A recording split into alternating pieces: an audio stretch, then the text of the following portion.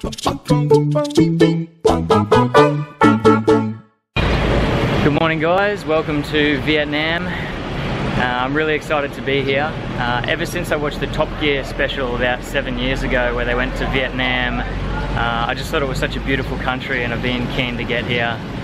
Uh, in that special, uh, the guys got 15 million dong, which they thought was a lot of money, uh, to buy a car, but it turns out 15 million wasn't enough, uh, wasn't even close to buy a car. So what they ended up doing was buying motorbikes.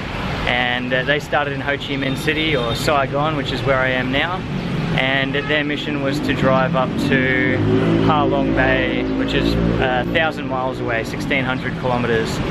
So in memory of what was a great show, I bought myself a motorbike and I'm gonna be heading to Ha Long this is Sebastian. I'll be riding with Sebastian today. We're heading to Mui Ne. Uh, that's his bike there. And this is my one here. Uh, unlike Top Gear, we don't have exactly the budget of the BBC. So rather than having uh, 15 million dong, uh, we had about five or six million to spend. So this is what we've we've picked up. They're piles of rubbish, but they look really awesome. And um, really excited to get on the road, first day of driving. So off to Mui Ne. See you at the next spot.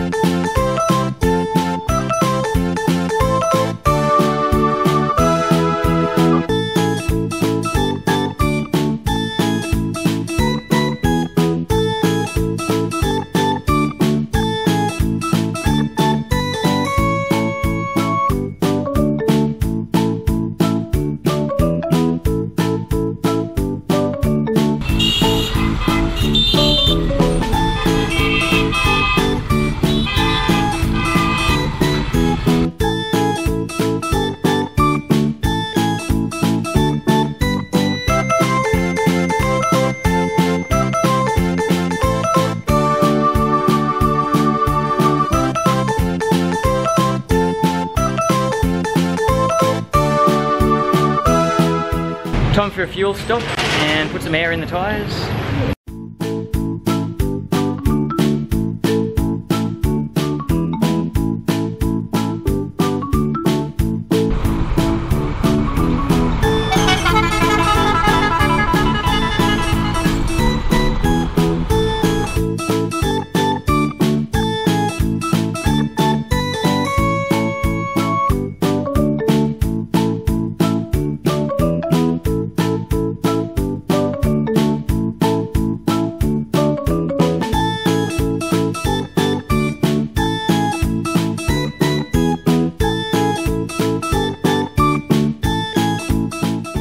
It's almost about midday.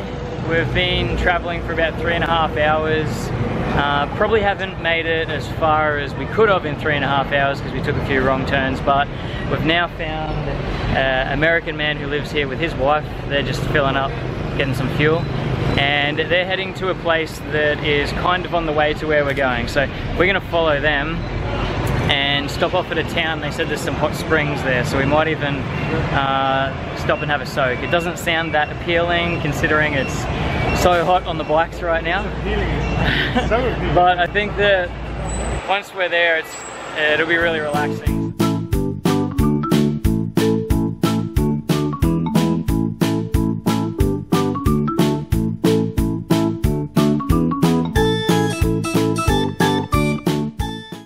So we just decided to stop for 15 or 20 minutes in a little town that we're driving through uh, to give the bikes some time to cool down. We've been running them for a long time and it's the hottest part of the day at the moment so we'll let them cool down for a bit and wander around here. They've got a lake in the background and leading up to this little area some really nice gardens that are all very well kept.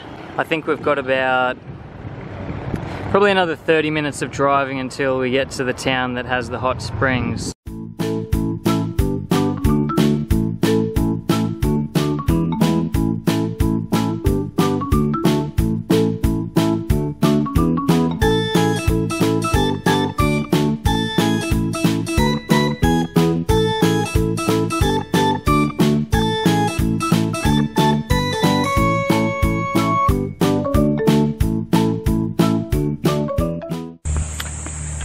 Right, guys, we made it to the hot springs, which weren't your conventional uh, natural hot springs. They've kind of been turned into a swimming pool. We paid two bucks to get into this uh, resort area.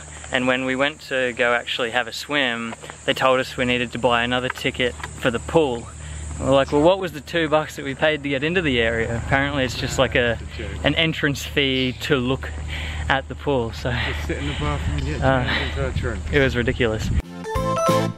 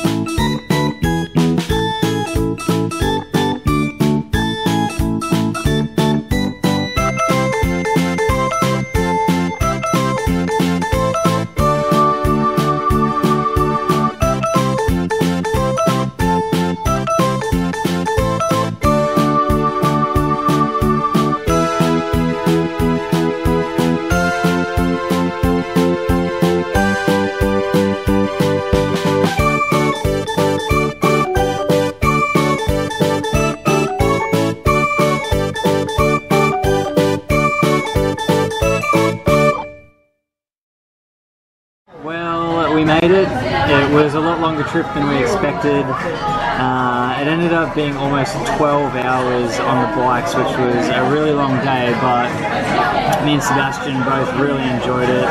Uh, we wouldn't have had it any other way. It's just so fun being out on the open road and exploring the, uh, the villages and some of the, the rural areas of Vietnam that we wouldn't have otherwise seen if we had have just had a, a normal bus ticket like most other travelers do. So we had a great time. Um, we actually had so much riding to do that we didn't even get a chance to have lunch. So we had a little bit extra in the budget. So we've gone all out for dinner. We found a Mexican uh, restaurant in uh, Mui Ne, right next to the backpackers that we're staying at.